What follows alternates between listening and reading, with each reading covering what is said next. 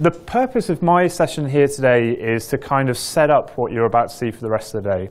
So we have a lot of really good um, technical speakers today who are going to be taking you through some of the things about how you as developers can start to implement bits of Bing into um, what you're doing. But uh, what I was asked to do today was to give you a bit of a, um, a view into how Microsoft sees um, the future evolving specific, specifically with, with search.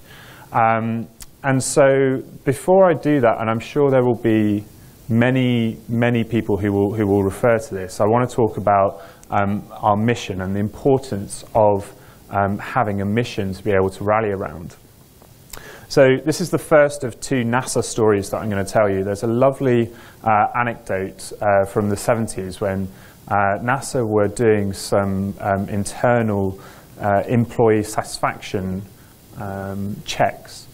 And when they went through all of the data, there were a couple of people who came out significantly higher than the average employee. And there's one guy uh, who's the janitor um, who did, did, a pretty sort of uh, mind-numbing job of just sweeping the floors of the, of the halls of um, the NASA uh, research labs. But his scores were absolutely off the chart for employee satisfaction. So they, they brought him in and they said, what, why is it that you're, that you're such a, a happy you know, worker when actually, by most normal standards, you're doing a pretty menial job? And he said, well, I, I don't see it as menial at all. I'm helping putting man on the moon.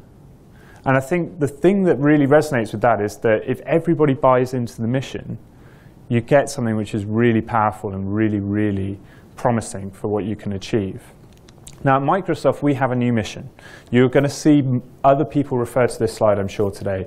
But um, the mission is something which I think we are all rallying around and is really critical to the future of our business. The old Microsoft mission, uh, for those of you who've been around in tech for a while, uh, was a pretty sort of uh, simple one, but it was a technological one. The old mission was a computer on every desk in every home and in every office. And if you think about maybe most of the Western world, I think by and large we've achieved that mission. The new mission is something which is eminently more human. We plan to help to empower every person and every organization on the planet to achieve more. That's a very different mindset and actually a much more ambitious goal because there are so many things that we can do as Microsoft to empower people to achieve more in their daily lives at work and at play. And every person at Microsoft internalizes that mission to think, how can I contribute to actually helping people to empower? Now, for me, when I think about how I personally internalize that mission and uh, for what I do at Bing, I'm a massive comic book nerd, and so I always refer back to um, heroes and trying to save the world. For me, the mission uh, for Bing is to save the world from a Google monopoly. We're trying to give people a credible alternative in search. Now, a number of you just chuckled there we understand the sort of the, the greatness of, or the difficulty, the steepness of the climb that we have to face if we are going to challenge Google. But the good thing, I think, is that history is on our side. No empire manages to ever last forever. And the thing is, is that even though Google is a phenomenally large company, phenomenally successful at what they do, not only are they one of the richest companies in the world and have one of the best uh, teams of engineers working on their algorithm, oh, and by the way, they also own the verb for the thing to the market to which they help to create, we truly believe that Bing can become the world's best search engine and can actually overcome Google. Now, why do I have that optimism and confidence? Well, partly because of our mission, partly because of some of the things that I'm going to show you today, but partly also because of history. There are plenty of examples throughout history that show that the incumbent can be overcome. And even when you own the verb, that doesn't necessarily mean that you're always going to be the number one player. I want to give you a very quick example of that right now. Hands up, those of you in the room who own a vacuuming device in your household. Yeah, this should be all of you. okay? Hands up again if you own a Hoover vacuuming device. Three of you. Okay, how many of you own a Dyson? Nearly half of the room. And that's the point. Bing aspires to be the Dyson of search. That's what we're going for. And what I want to talk you through is how we see ourselves getting there and how that's going to um, help you uh, in your roles going forward. So if I think about um, the future and where we see search evolving, there are sort of three core things that we're looking for. And sort of keeping with the space theme, um, if we're thinking about planets aligning, there are three planetary uh, things which we're looking for in terms of search. That search is going to become more pervasive, more predictive, and more proactive. And what does that mean? Let's kick off with uh, pervasive. We all inherently understand that uh, technology is becoming increasingly something that is available to everyone, anywhere, anytime, any place. You now have access to the internet at the touch of a button. Your phone is never more than a couple of meters away from you. Um, worryingly, you, we check our phones something like 150 times a day. It's often the first thing in the morning that you check and the last thing at night, whereas it used to be that you would turn to your significant other, now you turn to your mobile. What that says about the uh, state of the country is, is up to you to decide. But we know that we can now get search wherever we are, whatever we're doing at any time. And this uh, idea of pervasiveness is something that is increasingly important, particularly to Microsoft. And I'm going to talk to you a little bit about what that means in a bit. Predictive is the idea that we can start to anticipate what's going to happen in the future by using search and using um, more data and trends and plugging that together to understand what is going to be happening and what are going to be your future needs. And if we can anticipate those future needs, then we can start to do something about it and we can start to make search proactive. And what that means is that we're going to be able to start giving you the answers to questions that you haven't even thought to ask yet. If we can get to that stage, then I think and if we can encapsulate that within the Microsoft ecosystem, then I truly believe that this is how we're going to start to challenge Google. So here's our, our list, pervasive, predictive, proactive, and I'll be sort of going through this throughout the presentation. Now we're drawing all of these together in what we call our new search intelligence framework, which is Cortana. So Cortana uh, for those of you who haven't sort of come across it yet, is our kind of version of Siri. It's um, a digital assistant which is there to help you achieve tasks in your daily life, whether it be that work or at play. Cortana is there to, to know and to understand you and to help you get stuff done. Now, how does that work in this framework of, of the new types of way that we think about search? Firstly, pervasive. So Cortana is pervasive across all of the different Microsoft ecosystems. So whether that is in um, from the smallest uh, device and, and uh, smartphone up to the very biggest from um, smart TVs. So whether it's on your phone, whether it's on Windows 10, whether it's on a tablet, um, increasingly we're going to see it with new device types like uh, HoloLens. Um, it's on Xbox, bringing you together to have a seamless interactivity with one intelligent system that understands who you are and what you need at a given time. Now, when we talk, I think, about the sort of the future of devices, I think it's really important that we don't just um, narrow that down to thinking about um, having a screen interface. This is actually a, uh, a video from our friends at Google that they're working on a, uh, a, a interface that allows you to be able to um, weave into a fabric a touch-sensitive um, receptor so that we don't necessarily have to think about stuff anymore in terms of having a device, a phone to actually pull out. In the future, something like this will be able to literally tap on our jacket and then make the search that we need, and it will be able to respond to that touch as a different command. Now, if you think about um, something that we're working on with HoloLens, the idea is that here, that the entire room becomes the interface that you want uh, to use. So this is a um, retail example where somebody's browsing through a website using HoloLens, um, but then they're literally placing the chair in the arena that they're in, in their kitchen, to see what it would look like. Does it fit neatly under the table? What does it look like in the context? And then when they order it, um, you can see that it fits perfectly into this particular scenario. Now, at the moment, HoloLens is still, is, whilst it's um, completely untethered, it's still a relatively um, bulky device um, for the head, but you'd be mad to think that this is the sort of the epitome of what this uh, particular device can achieve.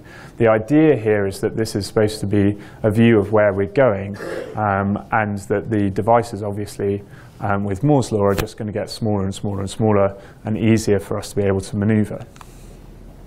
Now, I want to give you a quick example of how search today is starting to become much more um, pervasive across all of the different experiences that we have. And really what I want to highlight is how we're moving away from search as the experience that we sort of know and think about it today. So if you look at this, this is an example of me sort of clicking on a, uh, on a news article. Now, let's say I want to find out more about the Duchess of Cambridge. What I can do here is literally highlight and right click, and Cortana now brings all of that information which I could ever possibly want about the Duchess of Cambridge into the experience that I'm at. So this is available in Edge today, and what it does is it's bringing in all of the um, information from uh, different websites, so the likes of um, Wikipedia and from the web, and giving me a search experience without the need for me to be able to actually make a search. If you think about how this differs from the current search experience, where you have to, if you wanted to do this exact same thing in Google, what you'd have to do is you'd have to stop reading your article, open a new browser, go to Google, type in Duchess of Cambridge, click on an answer, and then you'd get the information. What we're trying to do here is to reduce the number of steps that you need to take and to shorten the gap between users and information. We feel that if we can do that and if we can make search totally pervasive, that it's just there in the experience that you're already in, then that will start to endear you to our platform and to our products. And predictive intelligence is really interesting. There are so many interesting things that we're doing here. I think we'll hear a little bit more about um, Bing Predicts, which is uh, something that we've used to be able to um, take the algorithms that we have in Bing and taking the data that we start to uh, take from lots of different sources to predict um, really important uh, moments in time. Uh, things like Eurovision, you know, the, the really hard-hitting stuff. Um, but we actually, we, have done this as a, as a thought experiment, but actually as a genuine thing. We've been able to predict things like uh, the outcome of Eurovision. We've predicted um, winners of World Cups. We predicted things like um, X Factor. Uh, there are lots of, of uh, the one thing we didn't quite get was the election, but um, you know, there are, there are so many things that, that are wrong with that that I'm not even going to start. The really interesting thing is that we can start to get much more granular and um, start to um, predict far, far better than any existing sort of YouGov poll or, or, um, or polling system by the fact that we have this um, wide-ranging network of things that can start to bring together uh, information from lots of disparate data sources. And one of the things I, I did say, that, that, you know, somewhat jokingly, that we're doing it this with the hard-hitting things like Eurovision. One of the things that we have done as, a, as an experiment using this um, kind of technology, uh, I think can be, have a profound effect on um, the world of medical science. So what we did was um, start to take a whole bunch of uh, people who'd been diagnosed with uh, prostate cancer and then we looked at their um, search history to try and see, are there patterns which could um, be used to try and um, develop an early flag sort of warning system? So that if somebody starts to um, use a particular type of behavior, if somebody exhibits a search behavior which um, is uh, sort of um, which matches the, the people that we've seen get cancer, could we use that as a way to be able to give people a warning to say, we think you should probably go and see the doctor. Maybe you should get yourself checked out. Now, one of the amazing things when we ran this through a couple of tests was that the false positive rate uh, of the model was less than 1 in 100,000. That's pretty amazing when you think about how many different variables there are. You know, we're not just looking for things which are very late stage, obvious signs of cancer, like if somebody's searching hmm, what does it look like to have prostate cancer? We're looking way, way before. And one of the really interesting things here is that if you can get an early detection rate of prostate cancer, you can double your survival rate chances. So these are, this is not something that we have as a product right now, but these are some of the things that we're thinking about, about how we can use search in a way to be able to predict uh, what's going to happen in the future in order to try and help people uh, in a very real way. The final thing that I wanted to um, think about in terms of the future of search is being proactive. How do we get this proactive intelligence in front of people? One of the best examples we have that, with that today with Cortana is this amazing ability where the more that she starts to understand you as an individual, she'll start to learn um, things which are relevant to you, things like where you live, but also things uh, like your daily routine, um, and syncing with things like your calendar. So one of the things that um, I did recently, I had a, a, flight over to Seattle. Cortana um, proactively warned me uh, that there was traffic on the motorway and that if I wanted to make sure that I got to Heathrow in time, that I would have to leave 20 minutes earlier than what I'd currently planned. Now, the reason why she was able to do that for me was because she had access to my calendar, she had access to uh, my uh, British Airways app. She knew when the flight was, she knew where I was currently, and she knew uh, what I was planning to do in terms of the amount of time I'd set aside in order to get to the airport. Now the thing is, is that I didn't ask her to check the traffic for me. She just did that on my behalf because she thought it'd be something which I would find useful.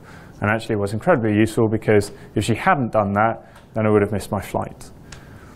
But this is where we're going in terms of being able to, where the machines will start to understand and the algorithms start to understand more and more about us, they'll be able to make inferences on our behalf and start to take actions on our behalf as well, either through prompt notifications or if you allow them to actually take actions uh, for you. I envisage a world in the not too distant future where Cortana is syncing not only with my calendar but also with my fridge, she'll be able to see what I have in my fridge and sync with my uh, diary and say, James, here's a quick reminder, mum and dad are coming for the weekend, and you know that mum only drinks skimmed milk. You haven't got any skimmed milk in the fridge. Do you want me to order some for you? And if I say yes, then sure enough, it'll be delivered uh, in a couple of hours. This is where we're going in terms of proactivity. Now, all of this means that we've got to start thinking about search in a very different way. We can't just think in the, in the way that we have uh, most of the last sort of 15 or 20 years in terms of a box and 10 blue links and search as a destination. We're going so far beyond that. And one of the things that we're seeing is that the, the evolution of search means that there are going to be three new protagonists within this new world. Those protagonists are the user, the digital assistant, and bots. So let me talk you through that. So you, the user, you're the person who ultimately all of this work is being done for in, in the background. Then you're going to have the agent, the digital assistant, who's going to be the superbot, the, the, the, the intelligence that understands you as an individual, you as a user, your preferences, your likes, your habits, and also has um, the one that you give uh, and empower the control to be able to take actions on your behalf. Then there's going to be the bots. And what we see is that the future is going to be something where companies are going to have bots working on their behalf to interact with digital assistants in order to be able to speed up and make transactions uh, and conversions that much simpler. Let me show you what that, that could look like uh, with a little demo. So this is uh, an example of three people having a conversation within Skype.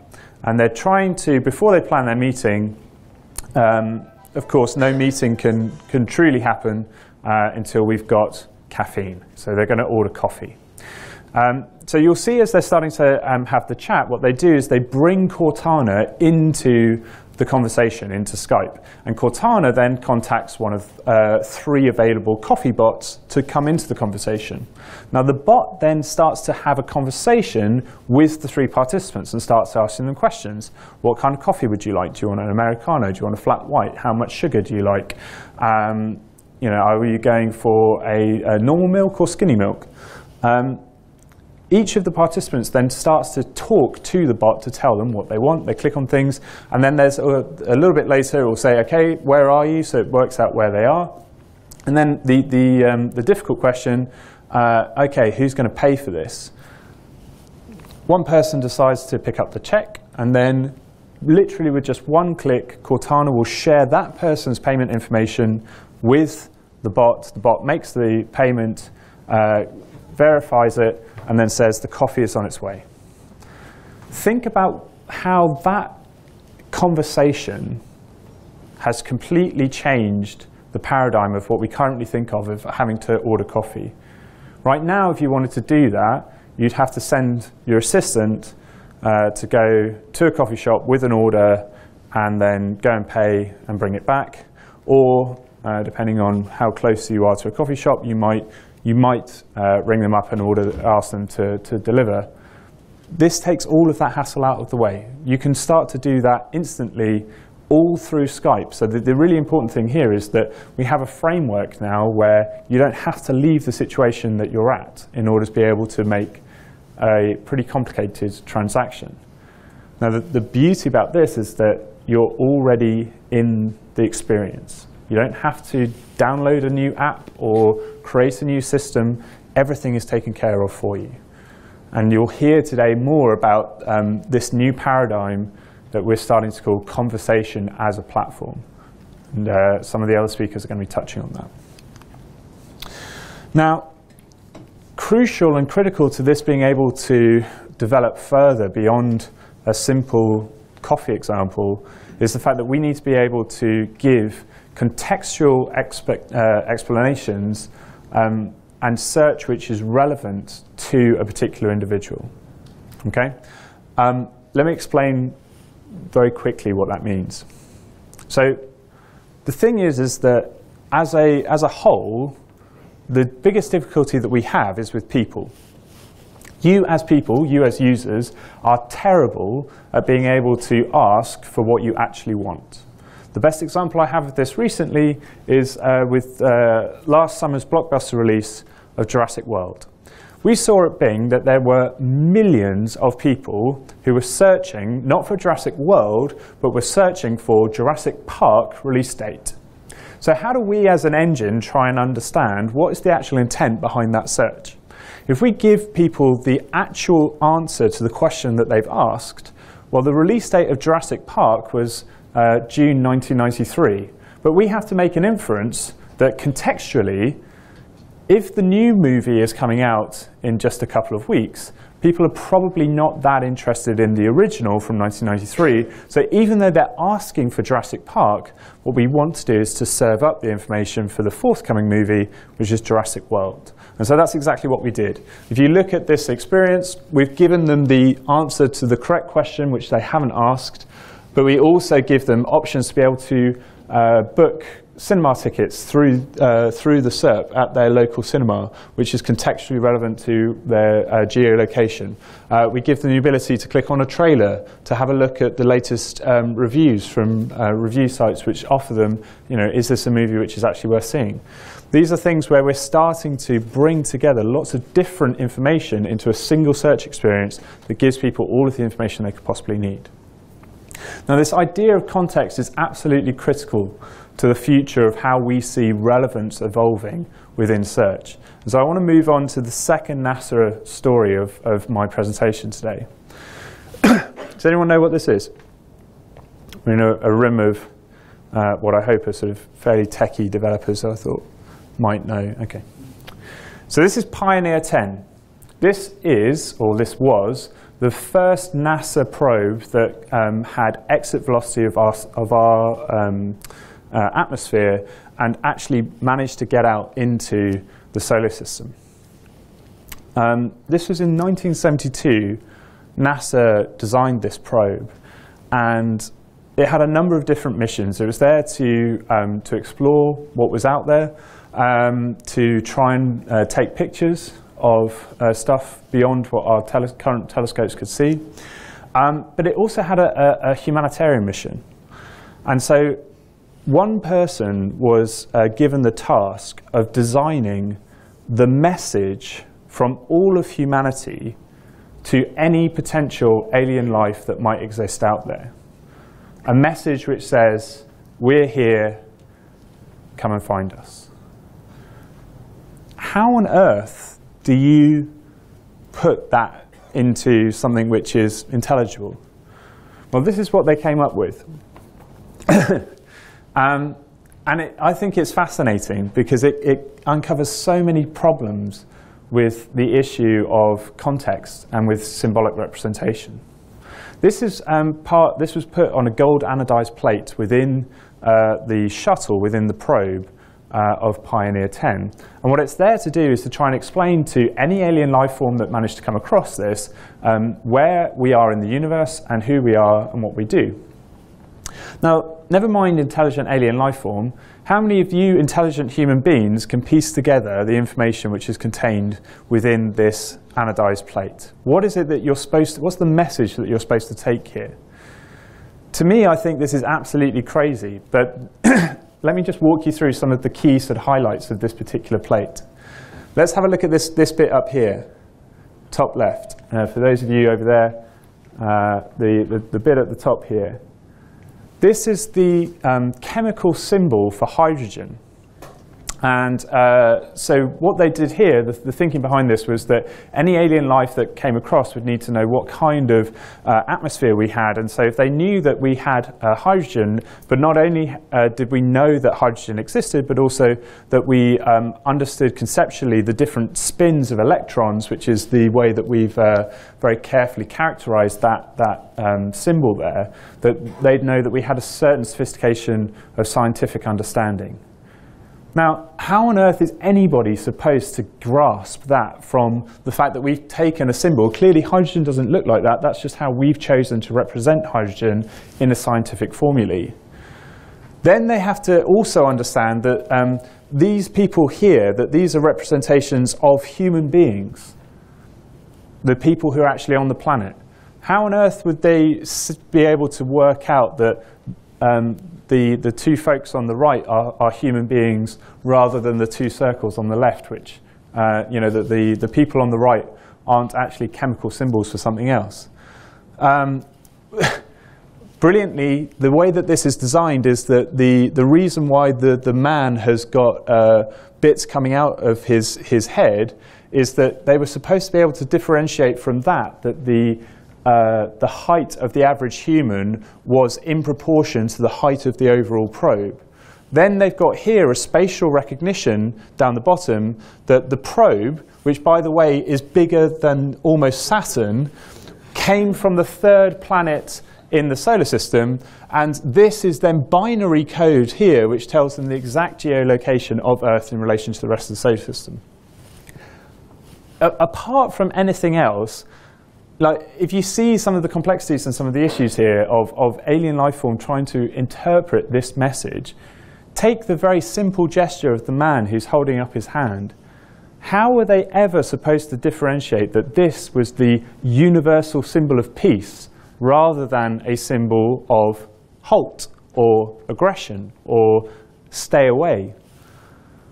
And yet this was the message that we sent. This was the best effort that we had uh, that NASA came up with. Now, the only reason that I tell you this story is, well, firstly, I find it quite funny, but the reason why I'm telling you this is there is a huge issue that we have with trying to understand context.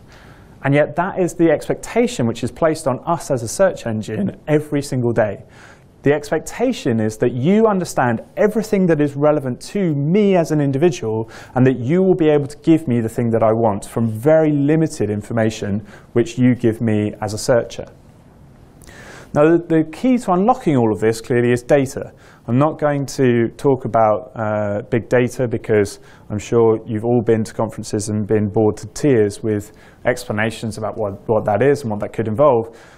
But what I want to talk to you about is how we as Bing are starting to think about this, uh, this problem and what are some of the things that we can start to unlock when we get access to more personalized information and start to draw strands between different data sets.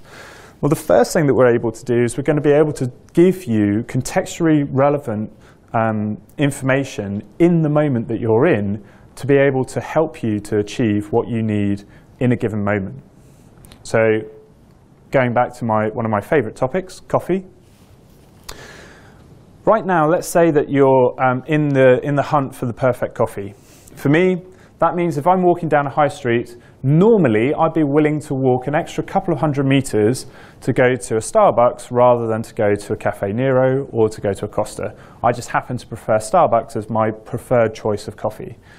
Now, so how do I then um, make sure that I'm getting the right information at the right time? Well, that depends on my context.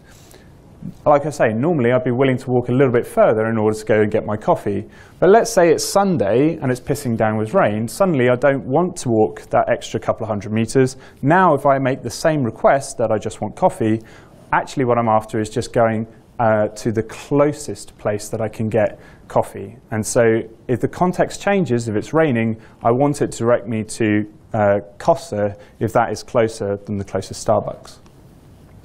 Similarly, when we're thinking about um, TV viewing, we want to be able to give information which is relevant to the person who's sitting there. So it really frustrates me, for example, right now, that Netflix doesn't have the ability to be able to differentiate when I'm sitting down to watch TV and when I'm sitting down with my uh, wife to watch TV.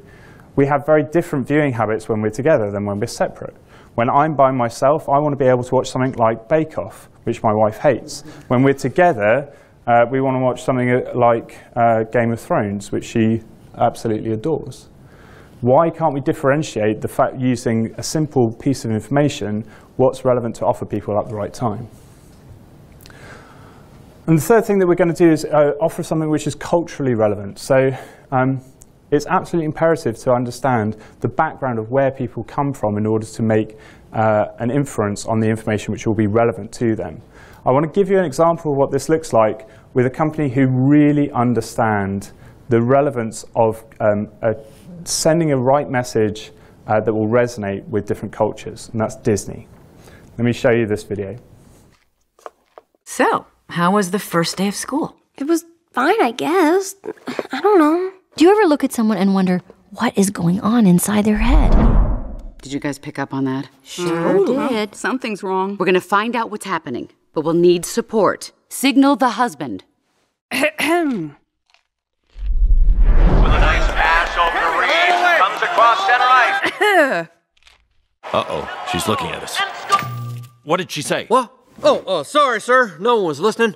Is it garbage night? Uh, we left the toilet seat up. What? What is it, woman? What? Signal him again. Ah, so, Riley, how was school? Cuando ves a alguien no te has preguntado qué sucede en su cabeza. Todos lo vieron, ¿verdad? Sí, ajá. Le pasa algo. Averiguaremos lo que pasa, pero con apoyo. Hazle señas al esposo. Buen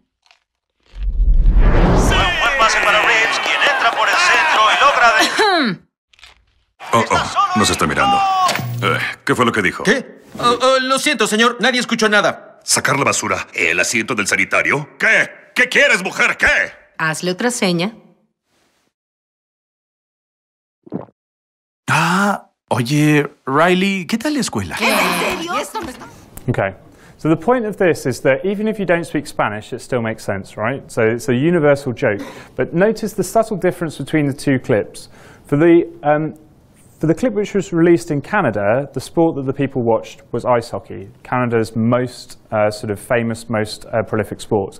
For um, the Spanish release uh, in South America, they show football. And why do they do that? They do that because Disney understands that if they're going to create heartwarming messages that are going to be family orientated, which relate to their audience, they have to make it so that it is relatable, that it doesn't jar with people when they watch it. And the, what's one of the most um, interesting things is that they never release just one version of the movie. There's always a separate release depending on where it's going out in the world. Now, this idea of cultural significance is really, really important. It's um, something that uh, I've had to deal with personally in my life, and so the, the, sort of one of the final stories I want to talk, to you about is the hardest presentation I, I ever had to give. Uh, this is a picture of me and my, my wife on our wedding day, and so uh, you'll see that uh, uh, my wife is um, Chinese, so she's actually from Taiwan. The hardest presentation I had to give was on, on my wedding day, I had to be able to deliver my groom speech half in English, half in Chinese, and I don't speak any Mandarin. Any Mandarin speakers in the room? No, didn't think so. Okay, so the problem with Mandarin is that if you don't understand how to pronounce the words, you can dramatically change what you're actually saying. So this is the first sentence that I wanted to deliver as my speech in English, which I then got translated into Mandarin, which was to say, to show respect to my Taiwanese family, I want to talk to them in Chinese. And the thing is, if you don't speak Chinese, then that's just a whole bunch of gobbledygook. But if you, even if you do, this is the English version of Chinese, each of these little in, intonations here tell you how to say the word. And if you get that wrong, you absolutely fundamentally change the meaning of the language that you're saying. Okay? Give you a quick example. This last two words here, Jing Yi. If I say that correctly, Jing Yi, versus incorrectly, Jing Yi, you've probably just heard me, to your ear, that might sound like I've just said the same thing twice. Trust me, that is the difference between me saying that I want to show my respect to my family and me showing them something else entirely. so you can imagine my, my sort of nervousness as I'm about to stand up and give this presentation to 150 people. And if I get this wrong, this could be the quickest move from marriage to divorce in history. Now, how are we trying to, to change this? Well, one of the things that we're using with the Bing algorithm, with the APIs, is to improve translation between languages. This is something that's been a really difficult nut to crack for a long, long time. But we finally got to a, a ability where we can start to have meaningful conversations in real time, something that we call tr Skype Translate. Mandarin is difficult, very difficult. Even the locals say so. I've learned some basic Mandarin, or what I call survival Chinese, but when I'm out traveling in the provinces, they don't always get me.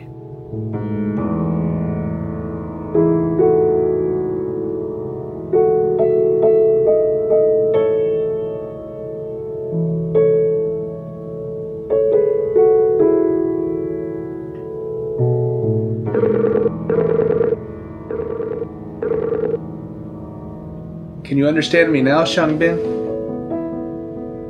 你现在能理解我吗？Tom，你会讲中文啦？He, you speak Chinese.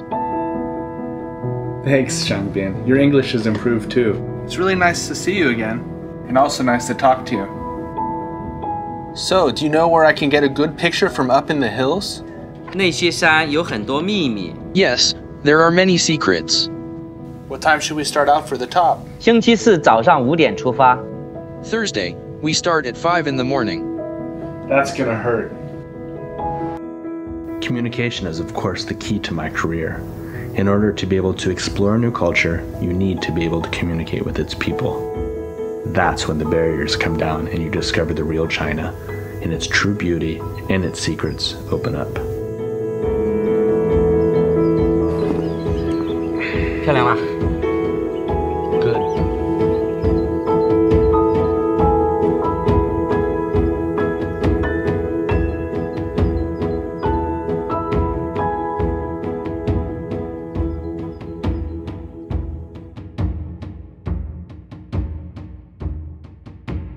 Okay.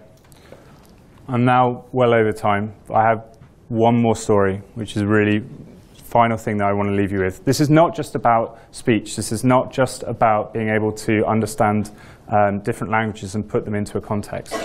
The final thing that we're doing, which I think is the, the real sort of future research, is with trying to understand not just text and speech, but also things, objects, visual things. This is one of the things that we started to do about six years ago, was how do we teach a machine to see and recognize objects. We did this initially with dogs, where you could take a picture of a dog and Cortana would be able to recognize what breed of dog it is. We then took that forward to a thing called CaptionBot. Uh, this is, a, again, another photo from my wedding.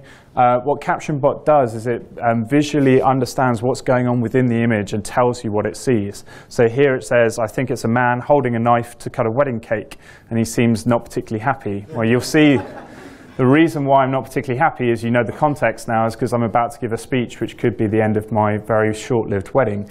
Um, but uh, see the difficulty and the complexity of that image. How does it understand that what I'm cutting into is a wedding cake? Well, it does that because it can see that typically when you see a, a, a, man in a suit and a girl in a white dress with a veil, and they're cutting into something with a, okay, this is a sword, but you know, sword, knife, semantics, that that's probably a wedding cake that we're cutting into. Great thing about this is that all of these things are available to you as developers as APIs which you can start to um, use through your own means. So you can start to do things like um, understanding visual recognition of uh, facial features and starting to pull that together to understand whether somebody's happy or sad or whether they are um, fearful or regretful.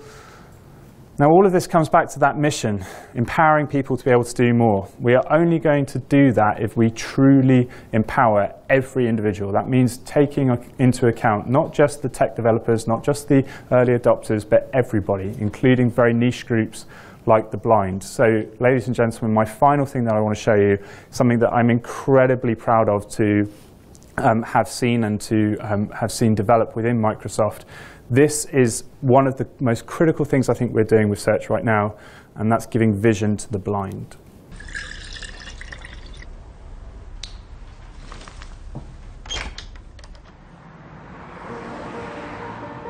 I'm Saqib Shaikh. I lost my sight when I was seven, and shortly after that, I went to a school for the blind and that's where it was introduced to talking computers, and that really opened up a whole new world of opportunities. I joined Microsoft 10 years ago as a software engineer. I love making things which improve people's lives. And one of the things I've always dreamt of since I was at university was this idea of something that could tell you at any moment what's going on around you. I think it's a man jumping in the air doing a trick on a skateboard. I teamed up with like-minded engineers to make an app which lets you know who and what is around you. It's based on top of the Microsoft Intelligence APIs, which makes it so much easier to make this kind of thing. The app runs on smartphones, but also on the Pivothead smart glasses. When you're talking to a bigger group, sometimes you can talk and talk and there's no response and you think, is everyone listening really well or are they half asleep? And you never know. I see two faces 40 year old man with a beard looking surprised, 20 year old woman looking happy. The app can describe the general age and gender of the people around me and what their emotions are, which is incredible. One of the things that's most useful about the app is the ability to read out text Hello, good afternoon. Here's your menu. Oh, great, thank you. I can use the app on my phone to take a picture of the menu, and it's going to guide me on how to take that correct photo. Move camera to the bottom right and away from the document. And then it'll recognize the text. Read me the headings. I see appetizers, salads, paninis, pizzas, pastas. Hi years ago, this was science fiction. I never thought it would be something that you could actually do. But artificial intelligence is improving at an ever faster rate. And I'm really excited to see where we can take this. As engineers, we're always standing on the shoulders of giants, building on top of what went before. And in this case, we've taken years of research from Microsoft Research to pull this off. I think it's a young girl throwing an orange frisbee in the park. For me, it's about taking that far off dream and building it one step at a time. I think this is just the beginning. Okay, thank you very much for your patience. Uh, that's it from me. All I wanted to say to, to round off is that this is the future that we envisage. You have access to all of these things. You can start embedding all of these things within your apps as developers. This is all uh, freely available through the Microsoft APIs. If you want to find out more about how we're doing this, come and talk to me either in the break or at lunchtime. Otherwise, thank you very much. We are here to save the future to save the world from a search monopoly. We're doing it one query at a time. Thank you very much.